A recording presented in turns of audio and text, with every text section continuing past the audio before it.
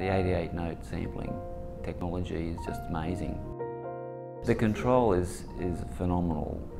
You get, it's just exactly the same as the grand piano. Headphone experience is really great. You can control the notes individually as much as you want.